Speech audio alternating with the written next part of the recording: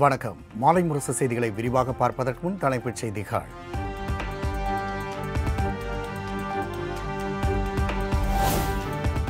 தமிழ்நாடு அமைச்சரவையில் அதிரடி மாற்றம். புதிய அமைச்சரவை பட்டியலுக்கு ஒப்புதல் அளித்தார் ஆளுநர் ஆர் என் ரவி.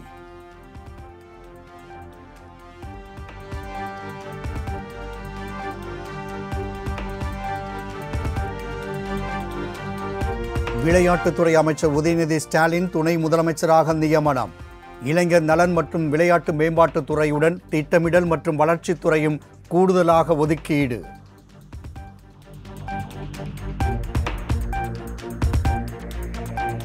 அமைச்சர்கள் பொன்முடி மெய்யநாதன் கயல்விழி செல்வராஜ் மதிவேந்தன் ராஜகண்ணப்பன் ஆகியோர் இலாக்காக்கள் மாற்றம். நிதியமைச்சர் தங்கம் தென்னரசுவுக்கு கூடுதலாக சுற்றுச்சூழல் துறை ஒதுக்கீடு.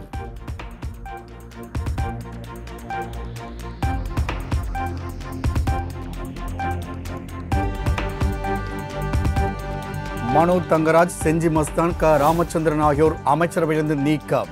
கோவி செழியன் ராஜேந்திரன் ஆகியோர் புதிய அமைச்சர்களாக நியமனம்.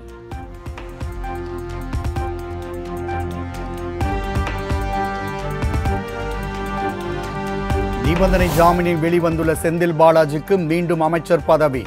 சமீபத்தில் அமைச்சர் பதவியில் நீக்கப்பட்ட ஆவடி நாசருக்கும் மீண்டும் பொறுப்பு.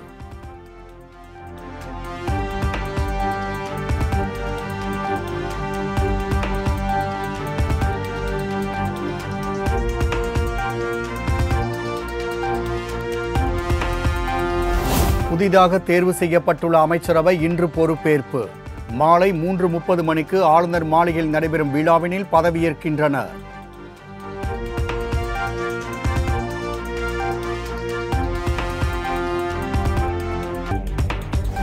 தமிழ்நாட்டின் மூன்றாவது துணை முதலமைச்சராக உதயநிதி ஸ்டாலின் இன்று பொறுப்பேற்பு. தமிழ்நாடு ஆளுநர் ஆர் என் ரவி பதவி பிரமாணம் செய்து வைக்கிறார். தமிழ்நாடு அரசு தலைமை கொறடாவாக க. ராமச்சந்திரன் நியமனம். அமைச்சரவையிலிருந்து விடுவிக்கப்பட்ட நிலையில் புதிய பொறுப்பு.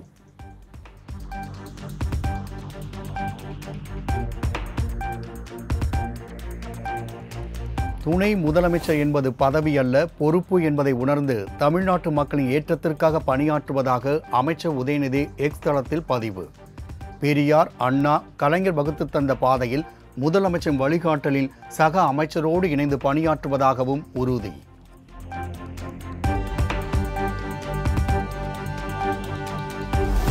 இந்தியாவில் ஒரே நாடு ஒரே தேர்தல் திட்டத்தை நிறைவேற்றுவதற்கு சாத்தியம் இல்லை என முதலமைச்சர் மு க ஸ்டாலின் திட்டவட்டார் மத்திய அரசால் நாடாளுமன்ற தேர்தலையே ஒரே கட்டமாக நடத்த முடியவில்லை என்றும் குற்றச்சாட்டு. ஆட்சித்தன்மை கொண்டதாக இந்தியாவை மாற்றுறதுக்காக ஒரே நாடு ஒரே தேர்தல் என்ற திட்டத்தை கொண்டு வர பார்க்குது பாஜக அரசு. ஒரே நாடு ஒரே தேர்தல் சாத்தியம் இல்லாதது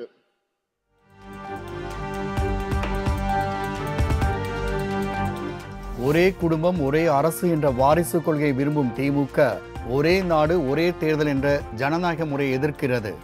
மாலை முரசு இணையதள செய்தியை மறுபதிவு செய்து பாஜக மூத்த தலைவர் தமிழிசை சவுந்தரராஜன் விமர்சனம்.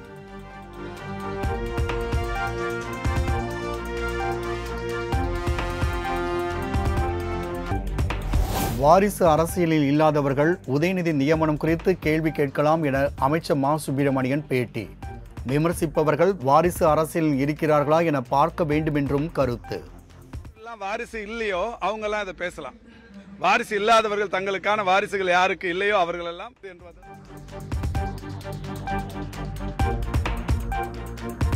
தமிழக மக்களிடம் செல்லா காசாகி போன பாஜகவுக்கு செவிசாய்க்க விரும்பவில்லை என அமைச்சர் சேகர் பாபு பதிலடி. தமிழ்நாட்டில் தகுதியில்லாத கட்சி பாஜக என்பதால் தான் நாடாளுமன்ற தேர்தலில் மக்கள் தோல்வியை பரிசாக அளித்ததாகவும் விமர்சனம். கட்சியை போன்ற தமிழக மக்களிடம் செல்லா காசாகிவிட்ட கட்சிகளுடைய கூற்றுக்கு நாங்கள் செவிசாய்க்க தயாராக இல்லை. தமிழக மக்களின் நலனையும் தன்னுடைய தோளிலே சுமக்கின்ற அளவிற்கு திடகாத்திர உணர்வு கொண்டவர் மாண்புமிகு துணை முதல்வராக இன்றைக்கு பொறுப்பேற்க இருக்கின்ற அன்பிற்கினிய அருமை அண்ணன் உதயநிதி ஸ்டாலின் என்பதை அனைவரும் நன்றாக அறிவார்கள்.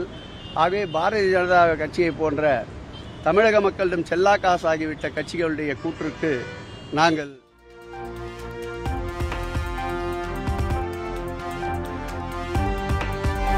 முதலமைச்சர் மு க ஸ்டாலினை குடும்ப வாரிசு என்று பேசுகின்றனர். ஆனால் இது கருத்தியல் வாரிசு.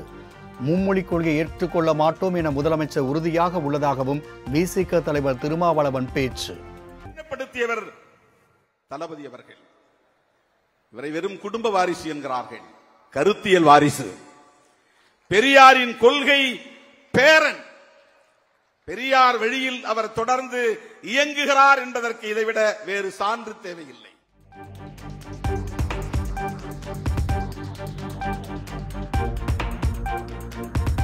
வக்பு வாரிய சட்ட திருத்தம் தொடர்பான மத்திய அரசின் கருத்து கேட்பு கூட்டத்திற்கு பல இஸ்லாமிய அமைப்புகளை திமுக புறக்கணித்துள்ளது. அதிமுக பொதுச் செயலாளர் எடப்பாடி பழனிசாமி கண்டனம்.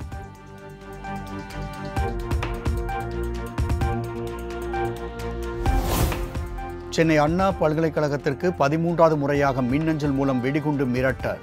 சோதனையில் புரளி என்பது தெரிய வந்ததை அடுத்து காவல்துறையினர் தீவிர விசாரணை.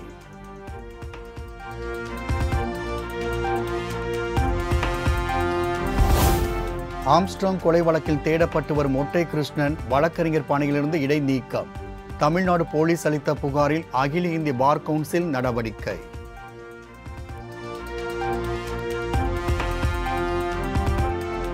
கச்சத்தீவு அருகே மீன்பிடித்துக் கொண்டிருந்த ராமேஸ்வரம் மீனவர்கள் பதினேழு பேர் கைது. இலங்கை கடற்படையினர் மீண்டும் அட்டூழியம்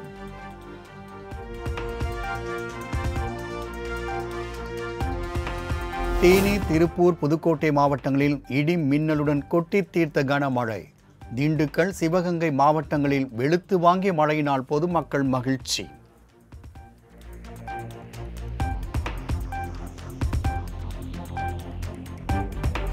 திண்டுக்கல் மாவட்டம் வத்தலகுண்டில் கொட்டி தீர்த்த கனமழையினால் ஓடையில் காட்டாற்று வெள்ளம்.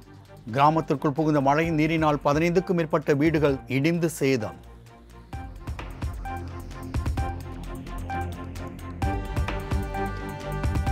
நீலகிரி மாவட்டம் பந்தலூர் அருகே காட்டு யானை தாக்கி ஒருவர் உயிரிழந்த விவகாரம். காட்டு யானைகள் ஊருக்குள் நுழைவதை தடுக்க ட்ரோன் கேமராக்கள் மற்றும் கும்கி யானைகள் உதவியோடு கண்காணிப்பு பணி தீவிரம்.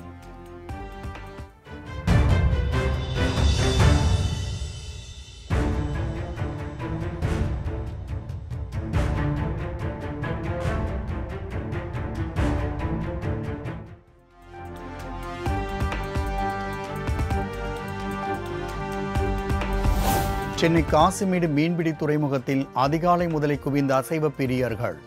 விலை குறைவாக இருந்ததால் பல வகை மீன்களை ஆர்வமுடன் வாங்கிச் சென்ற பொதுமக்கள்.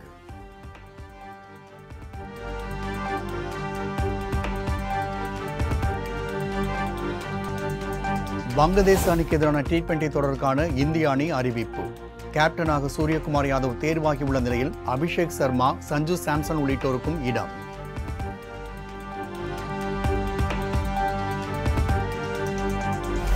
இந்தியன் சூப்பர் லீக் கால்பந்து தொடரில் பெங்களூரு அணி அபார வெற்றி. மூன்றுக்கு பூஜ்ஜியம் என்ற கோல் கணக்கில் மோகன் பகான் அணியை வீழ்த்தி அசத்தல்.